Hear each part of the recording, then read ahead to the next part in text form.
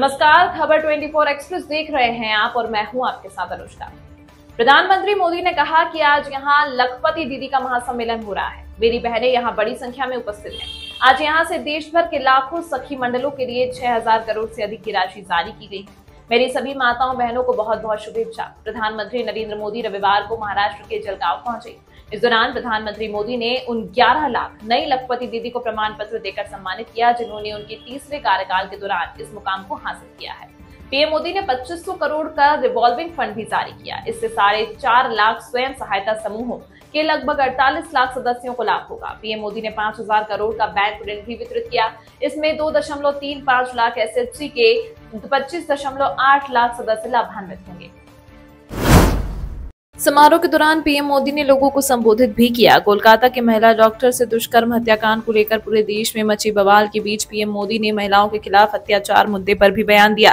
उन्होंने कहा कि माताओं, बहनों और बेटियों को सशक्त करने के साथ ही उनकी सुरक्षा भी देश की प्राथमिकता है। मैंने लाल किले से बार बार इस मुद्दे को उठाया है। आज देश का कोई भी राज्य हो, मैं अपनी बहन बेटियों के दर्द और गुस्से को समझता हूँ। मैं एक बार फिर देश के हर राजनीतिक दल से, हर राज्य सरकार से कहूँगा की महिलाओं के खिलाफ अपराध एक अक्षम पाप है। जो भी दोषी है, उसे बख्शा नहीं जाना चाहिए। किसी भी रूप में उसकी मदद करने वालों को बख्शा नहीं जाना चाहिए। अस्पताल हो, स्कूल हो, सरकार हो या पुलिस व्यवस्था, जिस भी स्तर पर लापरवाही हुई है, उसके जवाबदेही होनी चाहिए। सबका हिसाब किया जाना चाहिए। ऊपर से नीचे तक संदेश बहुत स्पष्ट जाना चाहिए। ये पाप अक्षम्य है। सरकारें आती जाती रहेंगी, लेकिन महिलाओं के जीवन की रक्षा और उनके सम्मान की रक्षा समाज के तौर पर और सरकार के तौर पर हम सबकी बहुत बड़ी ज़िम्मेदारी है। प्रधानमंत्री ने कहा कि आज इतनी बड़ी संख्या में देश की बहनें, बेटियाँ यहाँ है। मैं आपको ये विशेष रूप से बताना चाहता हूँ।